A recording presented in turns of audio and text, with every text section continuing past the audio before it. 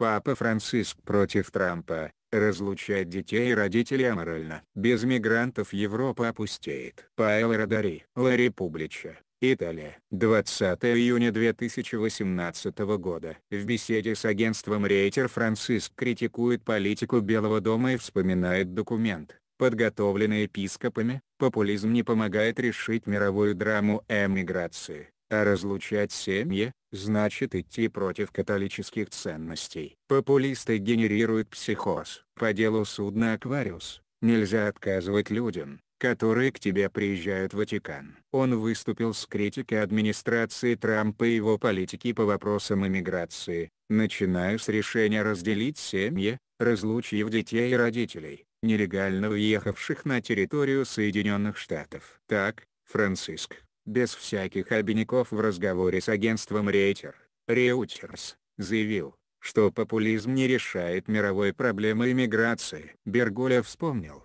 что поддержал документ, подготовленный американскими епископами осуждающий разлучение детей и родителей, противоречащий католическим ценностям и аморальное. Епископ Римский говорил также о недавно состоявшихся отставках чилийских епископов в качестве наказания за покрывательство сексуальных домогательств священников в отношении малолетних. Франциск говорил и о пяти годах, проведенных на папском престоле, он высказался в ответ на критику со стороны консерваторов, обвиняющих его в чрезмерном либерализме. Что же касается Трампа и его иммиграционной политики, Франциск еще раз выступил в поддержку американских епископов. «В этих вопросах я придерживаюсь позиции коллеги епископов», — сказал он. Популисты создают психоз в иммиграционном вопросе, в то время как старые общества, например, Европа, сталкивается с проблемой большой демографической зимы и испытывает необходимость в большем количестве иммигрантов. Без иммиграции Европа,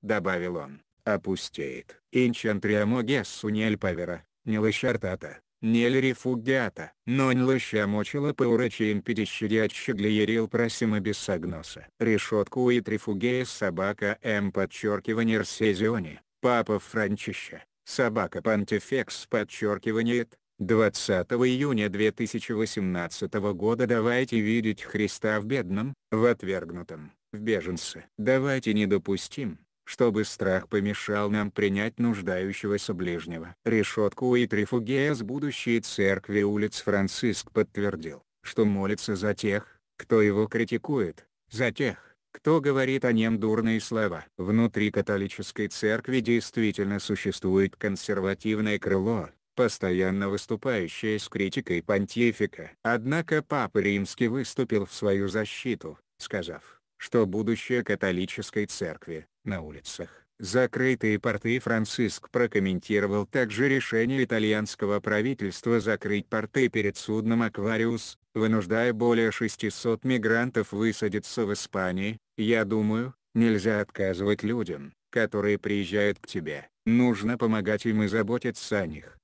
сказал он.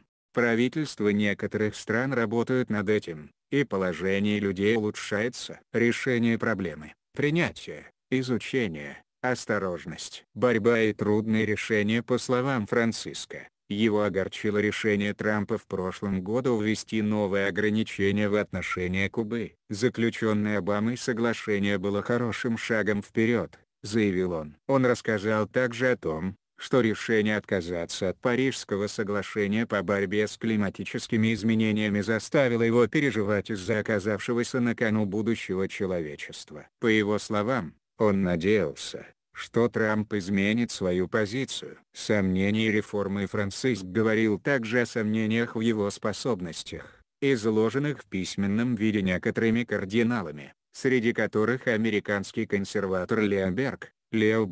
По его словам, он слышал о письме кардиналов, критикующих его в газетах. За манеру ведения дел, которая, скажем, отличается от церковной, но мы все совершаем ошибки. Папа Римский заявил, что удовлетворен проведенными реформами для достижения большей прозрачности финансов в Ватикане. Банк Ватикана, закрывший сотни подозрительных или спящих счетов, теперь работает, как следует, сказал он.